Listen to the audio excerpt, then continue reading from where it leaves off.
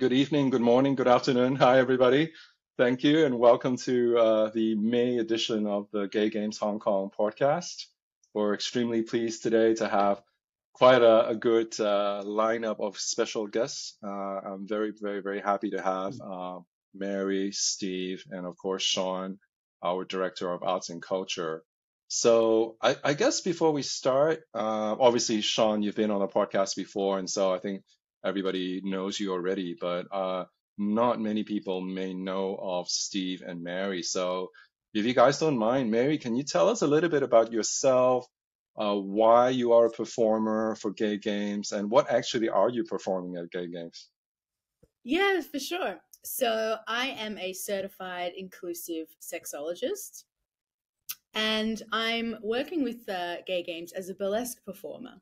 So I'm a certified uh, inclusive sex and relationship coach, and I practice burlesque as a way of sort of sharing sexual empowerment um, and hopefully like motivating other people and inspiring other people to do the same although you don't have to do it on a stage. You know you can also incorporate elements of burlesque into everyday life. Um, yeah so that's a little bit about me so and and your your performance name is mary foxworth and is that uh, is that the name that you go by as a sexologist as well? That's exactly right. I decided to stick with my name. I know a lot of performers take on um, different names, but because I see burlesque as an extension of my own sort of sexual power, I thought I'm just going to keep it um, as myself because because it is me um, and it is an extension of myself creatively. So I don't have that separation. I think we're going to have a lot of questions about burlesque dancing itself. So, you know, let us come back to that. Um, but first, I want to move on to Steve. Steve Imrie, uh, you are, I know that you're, you're with the Hong Kong Gay Men's Choir. Can you tell us a little bit more what you do with them and uh, how the, the choir was formed? Sure, sure, sure. I put my top on special so that you could see. Uh, so I'm the chairman of the Hong Kong Gay Men's Chorus and have been for, I think, about three years, almost four, almost four years. So we were created by myself and kind of my two best friends, uh, who are no longer in Hong Kong, unfortunately. But uh, we wanted to create a space that was purely for gay men to sing. So we all three of us had been in choirs within Hong Kong, and there was an element of LGBT and there was an element of LGBT allies, all happily mixed together, but there wasn't a predominantly gay male singing choir. And so we decided to take up on ourselves to to make it. And we decided that the choir would be purely, well, not purely pop music, but music that would be 99% loved by everyone wherever they were. So we sing kind of everyday British, well, not British, um, English spoken pop music. and um, we've had quite a success, which is quite nice. So you mentioned allies, but the, the name of the mm. group is the Hong Kong Gay Men's Chorus. So how does that work? So if a straight man wanted to join, w- would he be allowed? No, sorry. What I meant was that um, me and my three best friends had been uh, performing in LGBT based choirs that had a certain amount of allies in them. So we created a brand new choir that was purely gay male chorus. But in actual fact, we have had that happen. Uh, a straight male join our choir, and um, he'd found us on Instagram and and loved what we were doing, and really, really, really wanted to join us. And whenever I get someone coming forward because I, I do on a semi-regular basis asking if they could join. I do ask you know are you an out and proud gay man? To which everyone always says yes. And then the poor man was being I, I think he was asked out on a date by one of our members and i felt slightly uncomfortable. And then came to me saying that he was actually he wasn't he wasn't gay. And he just wanted to sing songs. So um, we kind of had to let him let him move to a different choir that is LGBT and their allies, so that everyone could feel comfortable, not just him but our members as well. Um, yeah, so we did have that happen. It was fine though. So th- this could be a very ignorant question, but uh, are there um, uh, is there a, a, choral advantage to keeping it to just men, or, or you know, would you would would it make difference if uh, make a difference if you if you added lesbians, for example, or or, or you know other genders? No, no, no, no. Um, I think the thing with it being men is that most cities, most cities around the globe have a very large gay male chorus, and they're very, very successful. Uh, San Francisco, um, Washington, uh, London, Sydney, they all have these big gay men's chorus, you know, up to 70 men singing. And um, that's what we wanted to try and start creating. Um, when we did start the choir, there was a shout out from um, a few lesbians in the um, in the community asking why, why, why there was not one for them, and our answer was purely make it. There's nothing to stop you from collecting a nice. Go start your own lesbian singers and, and start. Like we we didn't do anything special. Just three people got together and said we'd like to sing together, and that's that's that's just what we did. Um, so no, I think the the the joy of the men singing together, it's kind of very traditional in Britain that you know you have these Welsh male voice choirs, and they are some of the best in the world. So uh, I I have that to live up to as well. Hmm, interesting. So so Shawn, uh, uh, obviously, uh, thanks Steve, and and obviously Shawn, you've invited both Mary and and Steve's chorus to join as performers for the gay games. Can you kind of walk us through a little bit? Uh, obviously, you've got a very strong lineup of performers now, both in events leading up to November and in November during the gay games as well. What are your selection criteria for the performers that you choose to partner with? And how do you go about uh, uh, approaching them and bringing them into the gay games experience? Well, I would say that um, uh, a criteria for ours is is obviously um, performance diversity, diverseness. So we want to have a really well-rounded representation of everybody that that does any kind of performance activities in Hong Kong, whether that be vocal work, dancing, performance, um, choir, opera, classical music, instrumental. So it's it's great for us to have a, a well-rounded approach in terms of the the kinds of acts that we're approaching, as well as acts that we think are going to resonate with the local audience. So we're mostly sticking with acts that are regionally based. Um, that both was sort of born from uh, knowing what what is an interest level of the local community as well as what would best represent the local community. Um, and also uh, just with coming freshly out of the the pandemic it was what we were able to uh, to best uh, utilize in terms of uh, the, the ease of getting performers that were in the area that could perform. So um, just sort of uh, being able to to sort of represent the sort of world class entertainment that Hong Kong has to offer, and uh, do that in a way that is sort of a, a variety of um, of talent. So I want to go back to Mary because I, am I'm, I'm super curious about burlesque dancing. Um, I, I, think many of us have seen the the Cher movie, uh, but for those of us that haven't, can you can you explain what burlesque dancing is? Oh, burlesque is amazing. Burlesque dancing is a performance art, um, and it's a type of dance that celebrates uh, sexual empowerment, but it's also extremely creative. So, one person's performance, maybe objectively or subjectively, you might not think that there is a sexual undertone because every burlesque routine is so unique to the the performer themselves and that's what i love about it so burlesque dancing as well, fantastic because it's super inclusive. It's not elitist at all. There's no rules. It's not like other times of uh, times types of uh, performance, um, performance mediums or or types of dance where like there's definitely serious technique involved, especially to be able to be on a stage. Um, not that I'm saying that I don't have technique.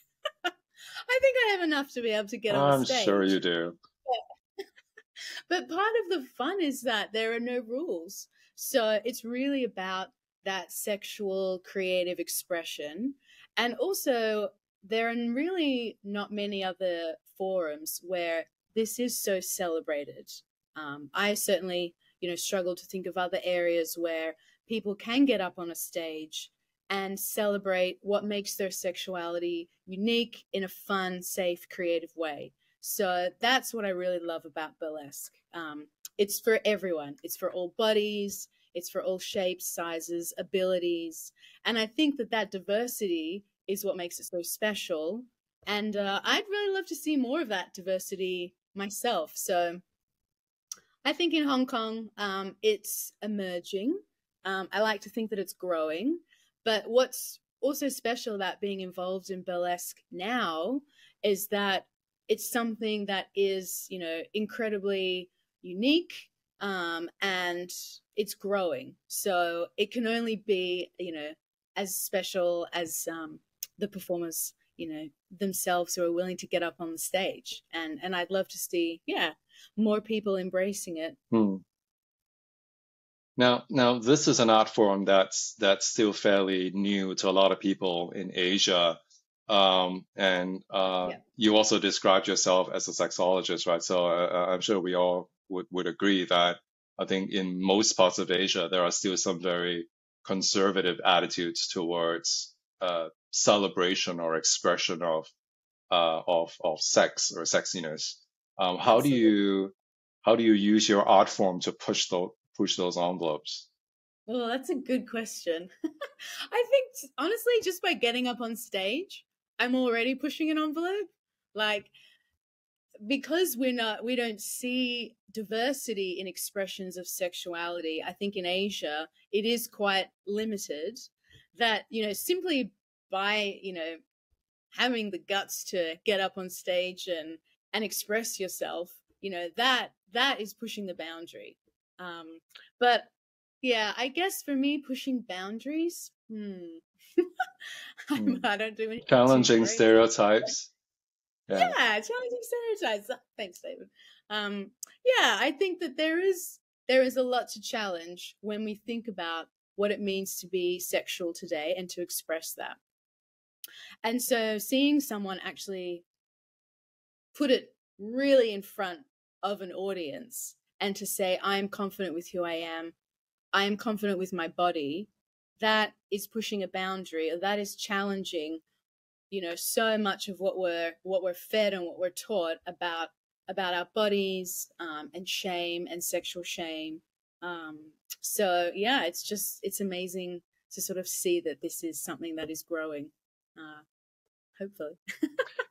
And, and and speaking of pushing envelopes um, steve you you've yeah. uh, obviously you you you you're also based in asia and you also perform in asia and hong kong yeah. What has been the common reaction to to all eh, from audiences when they know that okay, this is a, a, a chorus that's completely uh, you know a group of out and proud gay men?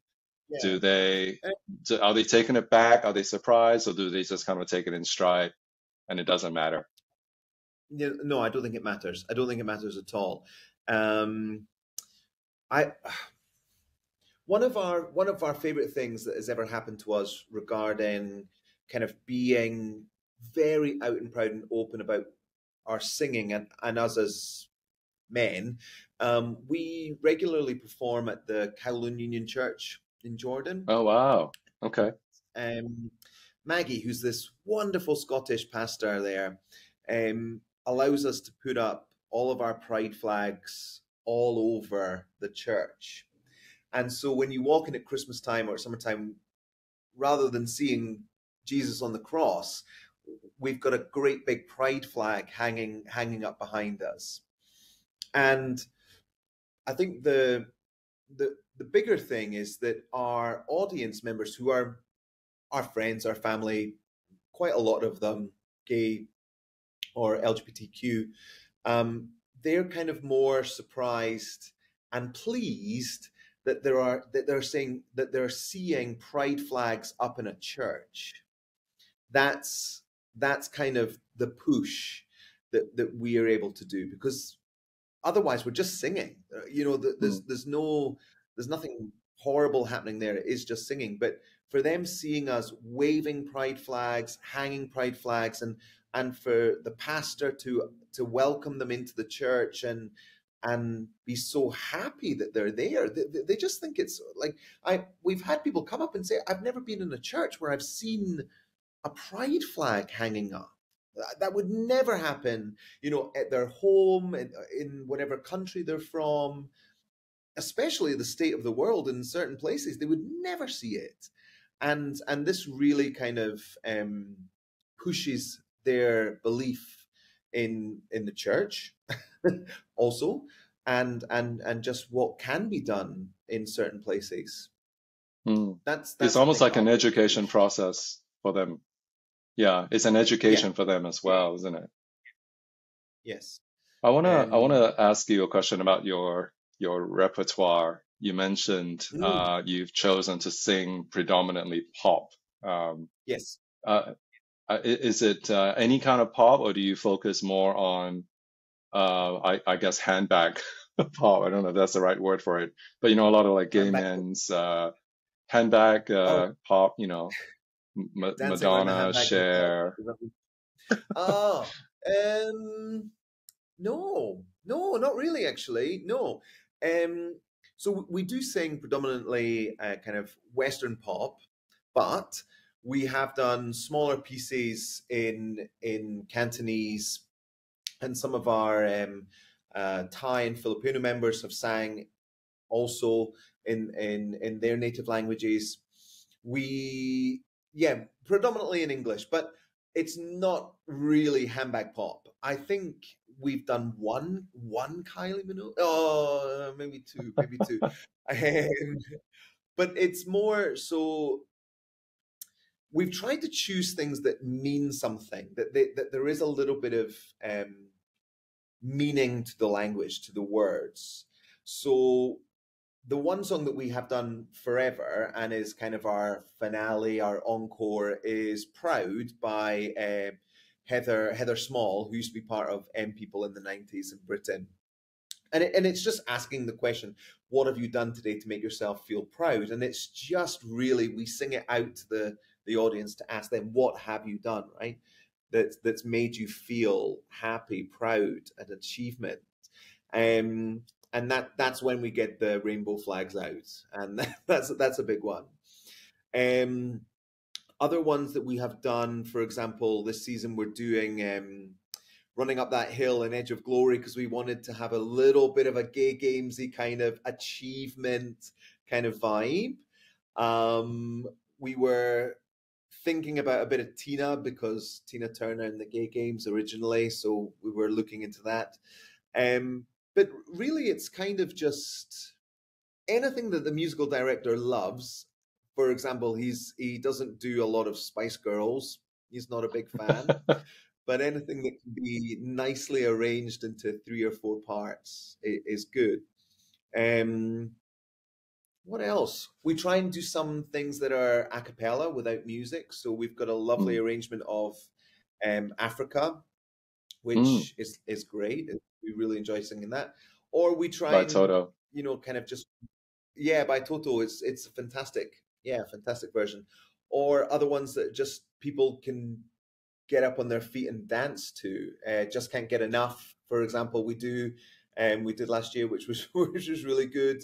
Um, everyone was in the aisles at the church dancing. So, for me, when I started the choir, the, the big question was, what would some audiences like to hear? So I spoke to Petticoat Lane and FLM, and Mm. I think Shawn as well. A couple of Yes, sir. things. What what would you, as an audience member, like? Because there are other choirs singing classical music, musical songs. There's Filipino choirs. There's um, lots, lots Sicilian singers doing very highbrow four, five, six part harmonies. We just didn't want to do that. We wanted something that was um, accept, um, manageable by us, but also enjoyed by the masses. Really. And and of course, for for those that don't know, Petticoat Lane and FLM are are two of the uh, the gay clubs in Hong Kong. Um, what about Village People? Do you do any Village People Just curious. Um, no, no, no. We I, did Village People originally do Go West? I can't Mm-hmm. remember. We are well. Yes, they no, I don't think we. Yeah, I don't know. Yeah, they, well, there we go. So we are doing Go West. Yeah, we've been doing Go West a while. It's even got dance moves. It's kind Oh. of. Um, but upsettingly, it's the one with the worst words. We can't remember them at all. but but we do we love we, we do love it. We we know it on the night. We know it on the night. But before the night, it's always a little bit touch and go with Go West. But it's it is it is a fave. We do yeah have a little bit of dancing as well. Interesting, interesting. And what about you, Mary? What what what songs do you dance to? Oh, that's a good question. Um, I well, I like to think of myself as neo burlesque. So that kind of there's like different types of burlesque that you can do. You could do showgirl burlesque. You know, you could go off script and do your own thing. I'm neo burlesque because I choose a range of songs that kind of suit my feeling. and I'm typically sticking to more um, of a vintage style. So I go for retro songs um, because I think that that also kind of enhances the femininity that I bring to the stage. Um, but yeah, I might mix it up. We we did a there was a World Pride event earlier this year, and a lot of there were a lot of Aussies in the in the crowd. It was supported by Gay Games, and I did a performance there. So I made sure to choose Aussie songs. so I started with a vintage one um, that was quite retro, and then I moved into "I Touch Myself" by the Divinyls, classic Aussie banger. Da, da, da, um anyway yeah so so i can mix it up but definitely i'm going for like quite a feminine feminine vibe so i prefer to dance to a woman singing Interesting. So no Kylie for you either. i mean i could do she's aussie if i ever do another event with lots of aussies in the crowd they'd love it I think I think we will, right? Because Shawn, don't we have Courtney Act in our in our concert as well? So Yes, we know that uh, there's a lot of Australians that are coming to Oh, Hong Kong. amazing to be there Courtney Act is amazing yeah she's she's a legend So so Shawn, how did we score Courtney? What what was that process like? Um, well, that how was that process? Like, it was it was basically um, we knew that um that she was she was coming through Hong Kong. And she's come through Hong Kong a few times, so she's done a few regular performances at a few clubs here before. And so we knew that Hong Kong was an area that she'd been to before, and also she's relatively she's she's globally known, but she's also relatively nearby in Australia. So um, those were two really big deciding factors, and also we um, we just have a, a really strong um, Australian base uh, in the region that are very interested in gay games. So it was kind of um, it was sort of a, a real no-brainer choice for us to select for us to select her as one of our headliners, and we're we're incredibly excited, especially since she's just coming off of um, being one of the hosts for Sydney World Pride. So uh, it was it was an incredible year to to manage to uh, to get her on board. We're uh, incredibly happy and pleased. yeah Yeah, I saw her in Sydney. She was she was amazing. She's she's such an uh, such an amazing performer with with a great stage presence. So uh, we're we're all very excited to have her here. And I know, of course, that you've got a lot of other very very um, impressive performers as well. So how do you kind of fit all of the different genres into? I know that we've got three nights of performances. What is the programming decision that you need to make to kind of like fit the genres together? Is it kind of like a jigsaw puzzle? How does it work? It's a little bit. We we try to organize each night in terms of what we think would attract the the groups of people who will enjoy those types of activities. So uh, we have one night that is more dedicated towards um, towards international pop music. We also have one night that's more focused on uh, local pop music. So anything that is either locally based artists or artists that perform uh, prefer to perform in Cantonese will be on that night. And then we also have one night that's a bit more focused towards what we call classical music or classical performances. That would be any of your um, your orchestra, contemporary dance, ballet, those those types of performances would be on that night. So we try we do try to segment it. We we mix it up a little bit just because we don't want it to be all one note. We also mm. understand that some performers have um, have uh, time constraints that make them uh, they'll need to perform on certain nights, so we accommodate for that. But for the most part, we do try to to curate it in a way that um, does make sense with uh, with different audiences and what will um, what what will uh, best uh, pique their interests for the night. And and beyond the three nights of concerts, do you and, and I know that you're still in the planning stages, but is there anything you can tell us about some of the other parties, the after parties, or some of the other events around Hong Kong around that time, and how what sort of genres of or, or types of performers do you think we should expect? Well, you can you can definitely expect um, some cabaret and burlesque. We are very close with the the local cabaret and burlesque um, performers, and as well as uh, drag queens, uh, drag kings, um, and a lot of um, of different uh, more local acts that are sort of more um, the the smaller band type of performances. We have those at various partner um, uh, partner locations all throughout the city. So uh, there will be definitely um, a variety of acts. You'll be able to find any type of performance that that you're interested in looking for. Um, we also do have two very talented performers who are going to be joining us from the UK, who do a um, they do a, a, sort of a dialogue based on uh, sort of the the situation that they are performing in. So they will be doing um, one of these dialogue performances or dialogue uh, uh, activities as well during the week. So uh, we're very excited for uh, for all these different um, different types of uh, opportunities that we can offer the people uh, coming to Hong Kong. That that's great, and and I guess Mary, you, are performing in the Gay Games kind of framework as well. What are what would be some of the the messages that you want to send through your performance specifically to the Gay Games participants, whether they're sports participants or or just supporters? What what would you want your your performance to convey to those people?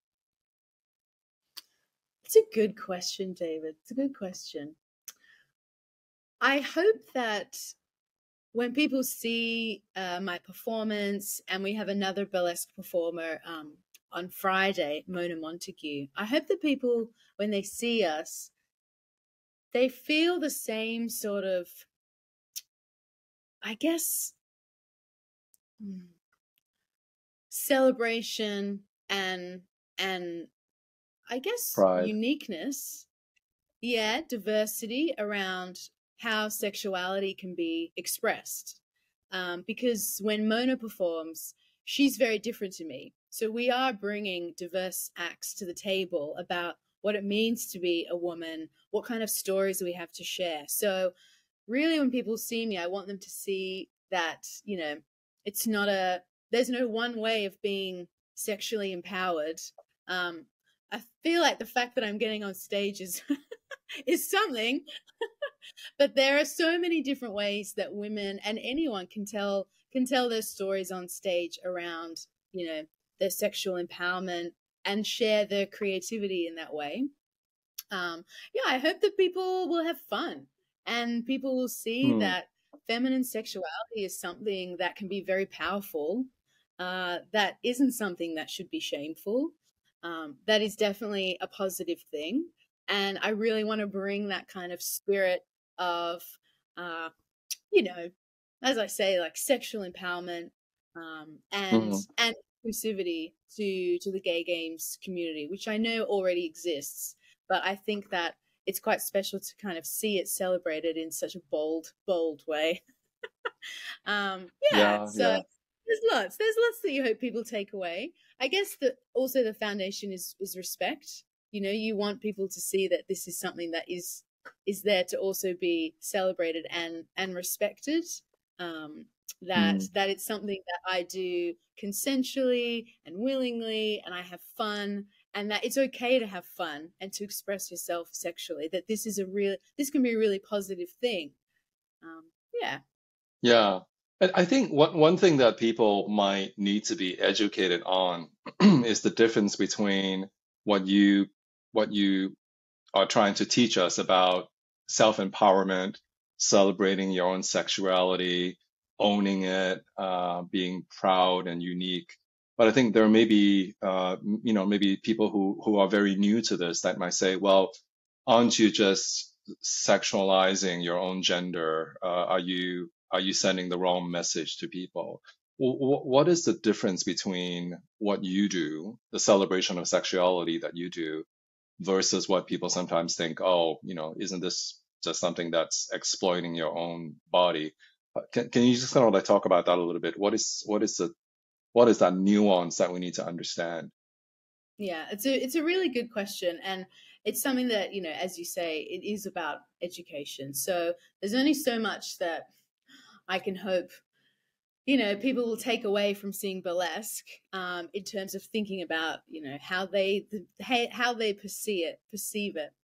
But ultimately i think that burlesque is something that is unique and powerful and it's my responsibility as a burlesque performer to show that this is something for everyone. It's not just for me, but also that I am having fun and I'm confident and that it's okay and I'm having a good time. I can't be too responsible for how it's received by other people because I can't control that. So that's that's the kind of the gray area that I find myself in in that I take responsibility as a sexologist and an educator to educate where I can but because of the culture that we live in, it's very difficult for me to try and help people make that connection immediately when it, it sits with that with that individual. It's so subjective.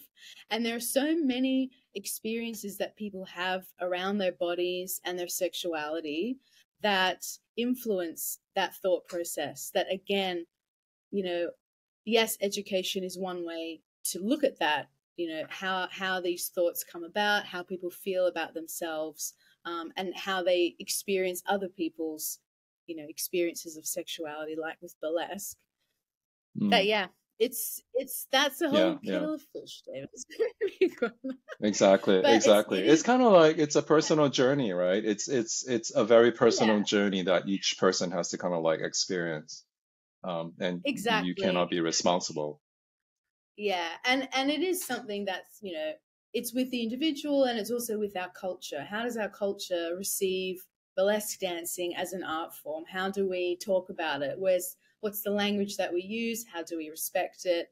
I think all of this kind of fits into the way that individuals will experience it and hopefully one day we'll make a, positive connection.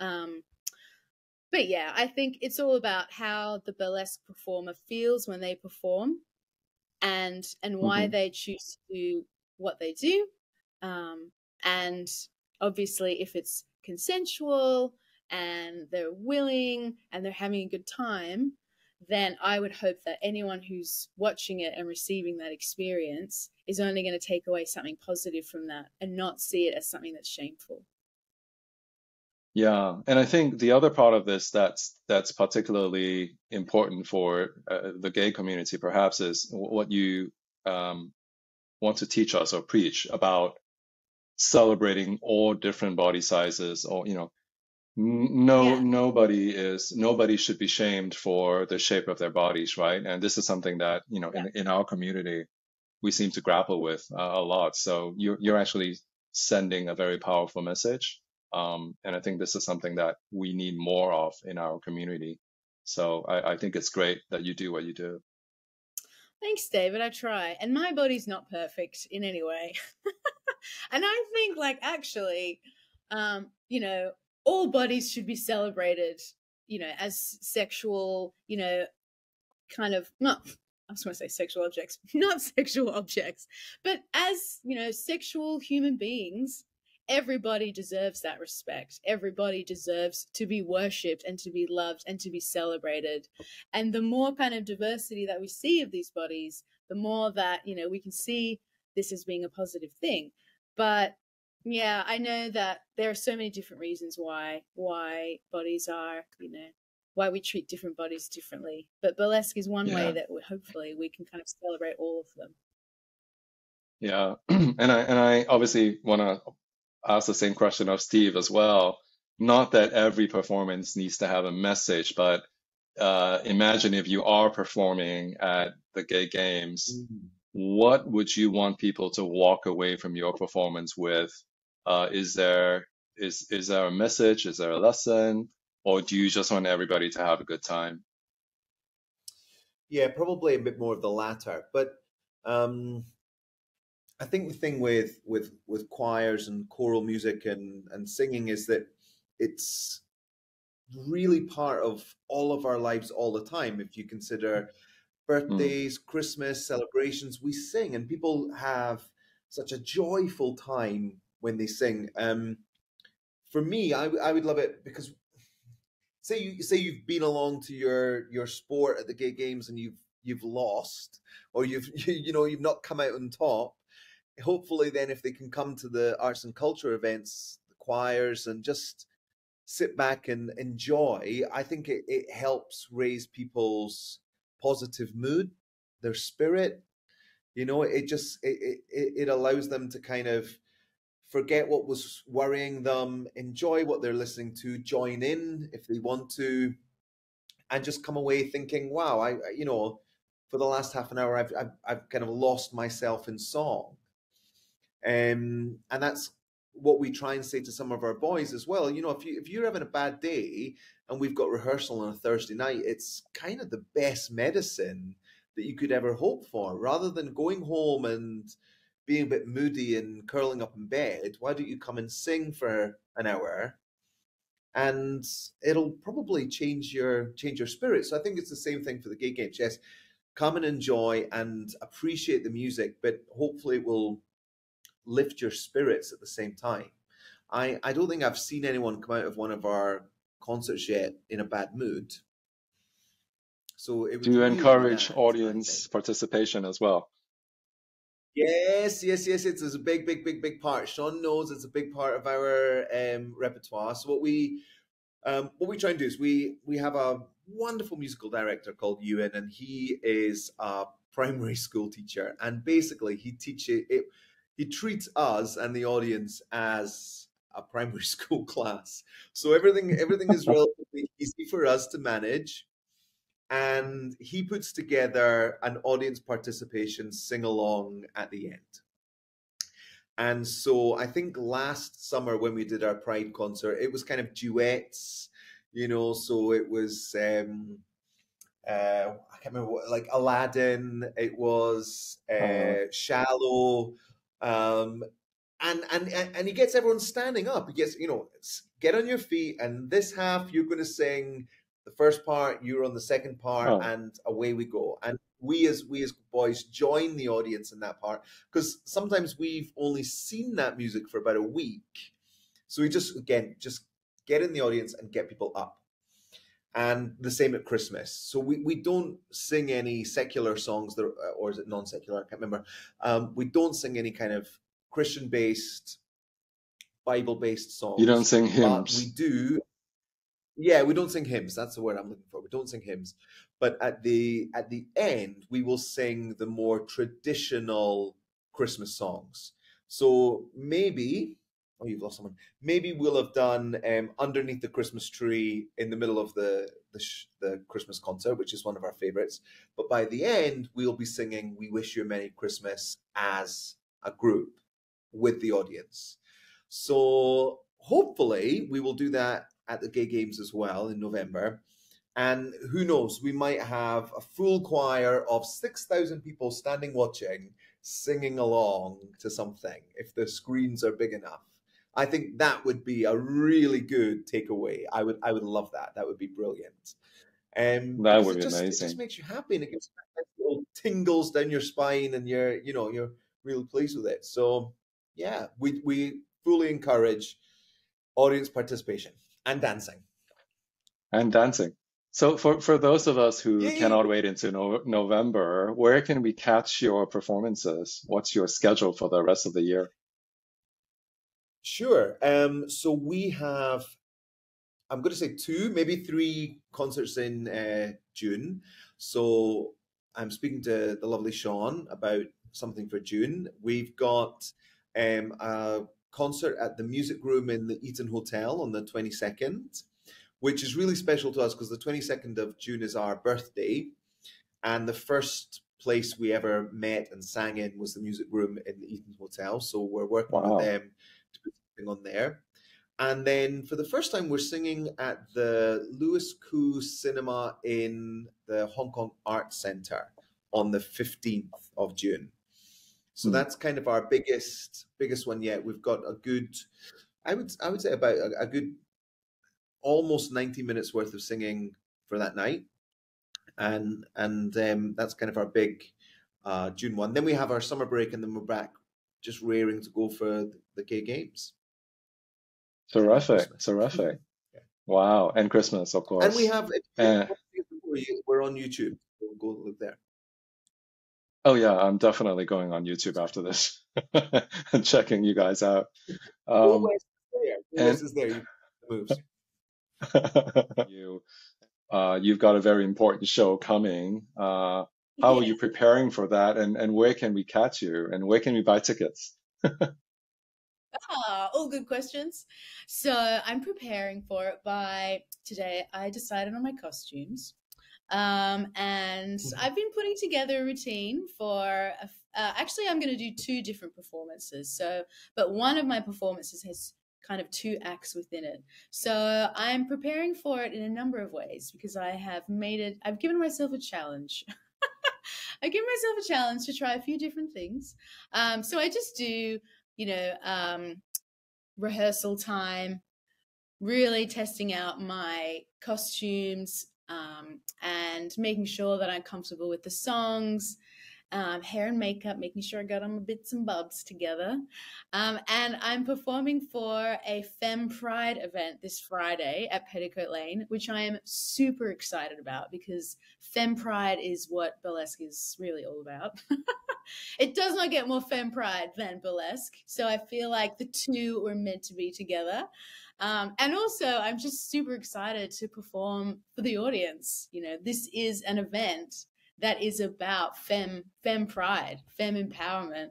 Um, and burlesque is so inclusive and it's all about it. So, so it will be. Um, well, actually, there's a couple of things happening on on Friday. So there's a kind of like a tea dance from three o'clock and mm. then this event, I think it should start from eight. Um, and it will be me, it'll be one other burlesque performer, Mona Montague, and it will be Vita Starkin who will be doing cabaret. So it is an amazing lineup, David. Don't miss out. You can get tickets um, on Eventbrite or you can get tickets at the door. Sounds good. Eventbrite or tickets at the door. So we, we only have time for one last question. And, uh, I, you know, I, I, I just want to ask each of you, um, Steve, um, for the people that are still deciding if they want to come to Hong Kong and, and be a part of the gay games, uh, what, what, what would you say to them uh, to help them decide? Obviously, we've got the sport events, but uh, what, what, why should they come and watch performances by the chorus and other performers? Yeah, I am. Um, actually, I had this conversation with a couple of people um, this week. I have um, some friends in Australia, Kuala Lumpur, and Guangzhou, all of whom were humming and hawing about what to do, whether to come. And um, firstly, I think for those people that have not been in Hong Kong for such a long time, that maybe are missing their friends and family here, it's a wonderful opportunity to combine a number of things together. You know, you a trip as well as this wonderful world stage of events. I think that's a great thing. Um, I think there's a lot of people that have missed what's possibly been going on for three years in Hong Kong. It's changed dramatically. It's a nice chance to kind of dip their feet back into Asia and see what's going on here. Um, if they're sporty, if they're arty, there's something for everyone. I know because I'm working with Shawn on the arts side of things. There's so much going on for people to really come in and enjoy. You know, I, I think um, there's been such I, I, don't want to say bad press, negativity, maybe un, undue bad thoughts about this area that I think they should come and see for themselves and really, really experience what what Asia and Hong Kong have to offer. And so the gay games is a lovely way into it. That's what I'm trying to Sounds tell my good. friends. Sounds good. Sounds good. Mary, what about you? What do you want to say to, to the people that are still on the fence about whether they want to come to Hong Kong for the games? What do you want to say to them? Oh, well, they have to come. I mean, it's so amazing that this is the first time that Asia's hosting gay games. And Hong Kong is hosting it. And I've lived here for eight years and I really love this city. It's incredible. It is still so spectacular and special. You get, I mean, I live in Mui Wo, so I'm basically in the jungle. but you can have jungle, you can have city all in a day. It's just, it's just honestly sensational. And obviously, the community is so special. And to be a part of this community at this time, um, it's yeah once in a lifetime really. So i would encourage everyone to not only think about like how special hong kong is and and will always be but how special this event is and what it means for the lgbtqia community uh, in hong kong as well and in asia. It's just incredible that that we are hosting it. That's wonderful. Th- thanks for that. And and of course shawn you get the last word uh, in your role as Director of Arts and Culture, why should people come to Hong Kong? Well, I think that people should come to Hong Kong to experience what it truly is like to be in Asia's world city. I think that um, really what what we're putting together really showcases uh, the the true melting pot of Hong Kong. How um, really everyone who is here, local or uh, expat, immigrant, um, ev- everybody comes together to sort of uh, bring their own stories to the table and really create a, a unique experience that uh, that's that's can be showcased to a world stage now. Um, and and in addition to that, it's not just the performers. We're also doing uh, a number of visual arts uh, exhibitions across the city as well for the arts and culture program. So you're going to see um, the input from voices from all over the region in a variety of different mediums that uh, I think is going to be very um, eye opening and uh, immersive for people that are coming to experience what we're all about. Yeah, it sounds like it's going to be a really truly unique experience, um, the likes of I think Asia has has not seen yet uh, in, in, within the LGBTQ space. So I think this is something that everyone should look forward to and uh, make sure they register now and get those tickets in, right? Um, so I hope everybody uh, uh, hears you and understands uh, what, what you're saying. So with that, I want to say thank you so much, Mary, uh, Steve, and Shawn. Uh, thank you for your time today. You, you, are truly inspiring everything that you do, and and I and I feel that uh, what we've learned on on the show today about what you do and the message and the, the lessons that you're trying to to send out. I think these these are very important things that people need to learn. So thank you very much for that.